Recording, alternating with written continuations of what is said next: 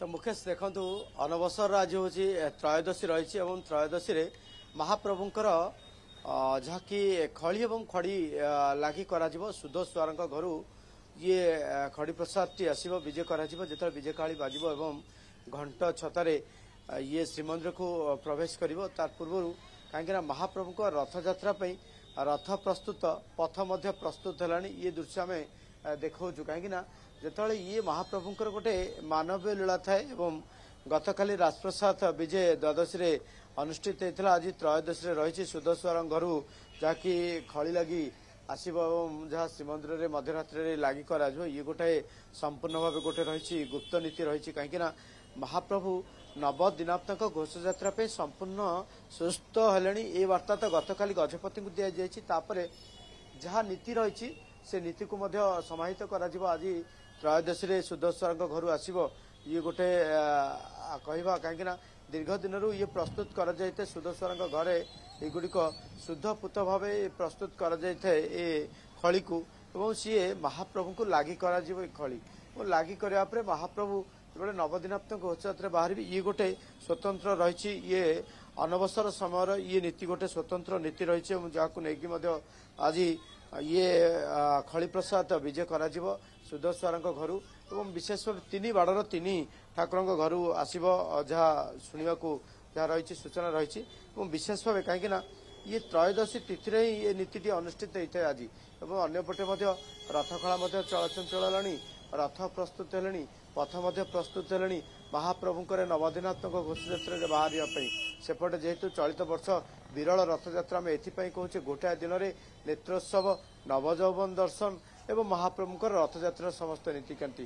ଓ ୟାକୁ କିଭଳି ସୁଚାରୁ ରୂପେ କରାଯିବ ସେ ନେଇକି ମଧ୍ୟ ସେବାୟତ ପ୍ରସ୍ତୁତ ହେଲେଣି। ଏବଂ ଇଏ ତମାମ ଯଦି ଦିଗକୁ ଦେଖିବା ମୁକେଶ ତାହେଲେ ନିହାତି ପକ୍ଷେ କହିବା ଗୋଟେ ଶ୍ରୀକ୍ଷେତ୍ର ଏବେ ଚଳଚଞ୍ଚଳ ହେଲାଣି ଓ ସବୁଠେ ଗୋଟେ ପ୍ରକାର ଆଧ୍ୟାତ୍ମିକ পরিবেশ খেলিগলে সাধু সন্থঠার আরম্ভ করি বিদেশর যে পর্যটক মানে অনেক যে তীর্থযাত্রী সে আসি শ্রীক্ষেত্রে পৌঁছিগলে মহাপ্রভুঙ্কর পতিতপাবন যাত্রা দেখা গোটে নিয়ারা যাত্রা রয়েছে মহাপ্রভুঙ্কর ଏବଂ ଚଳିତ ବର୍ଷ ଯେହେତୁ ନେତ୍ରୋତ୍ସବ ନବଯୌବନ ଦର୍ଶନ ରଥ ଉପରେ କରିବେ ସମସ୍ତ ଭକ୍ତ ସେଥିପାଇଁ ଆହୁରି ଗୋଟେ ଭିଡ଼ ଜମିବ ଏବଂ କୁହାଯାଉଛି ପ୍ରାୟତଃ ପ୍ରତ୍ୟେକ ବର୍ଷଠାରୁ ଚଳିତ ବର୍ଷର ଭିଡ଼ ଆହୁରି ବଢ଼ିବ।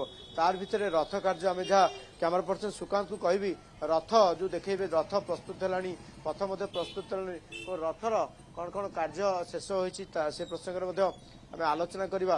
ମୋ ସହିତ ଯେ କି ବିଶ୍ୱକର୍ମା ସେବାୟତ ଅଛନ୍ତି ଯେ କାର୍ଯ୍ୟ କ'ଣ କ'ଣ ସରିଛି ଆମେ ସେ ପ୍ରସଙ୍ଗରେ ମଧ୍ୟ ଆଲୋଚନା କରିବା କାହିଁକିନା ଆପଣ ଦେଖୁଥିବେ ଯେଭଳି ଭାବରେ ରଥ ଉପର କଳସ ମଧ୍ୟ ଉଠି ସାରିଛି ଏବଂ ଆଜି ରଥର କାର୍ଯ୍ୟ କ'ଣ କ'ଣ ବାକି ରହିଛି ଏବଂ କ'ଣ କ'ଣ ଶେଷ ହୋଇଛି ଶେଷ ଆଜ୍ଞା କାଲି କଳସ ଉଠିଛି ହଂସପଟା ବଢ଼ିଆ ହେଇଛି ଆଉ ଶିଖର ଡମ୍ବୁ ପାର୍ଶ୍ୱତା ଲାଗିବ ଠେକରା ବାଡ଼ ଆଉ ପ୍ରଭା ରଙ୍ଗ ଚାଲିଛି ଆଉ ଠାକୁର ଯୋଉ ବିଜେ କରିବେ ଯୋଉ ଚକା ଫାଳି କହନ୍ତି ଚକା ଆସନ ସେଇଟା ଟିକେ ଫିନିସିଂ କରାହେଇନି କରାଯିବ। ଅନ୍ୟ ଟୁକୁରା ଟୁକୁରି କାମ ସବୁ ଅଛି।